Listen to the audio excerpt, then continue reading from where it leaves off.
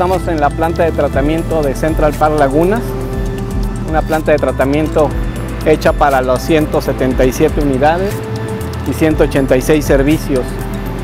Esta está dimensionada en cuatro cámaras. Una es específicamente para el cárcamo de captación de todas las aguas residuales. De aquí pasa a la segunda cámara, que en esta cámara es, es anóxica y aquí es donde se separan los gases y los microorganismos en las mismas aguas. Posteriormente pasa a la segunda cámara de la planta de tratamiento. Tenemos un sistema de oxigenación.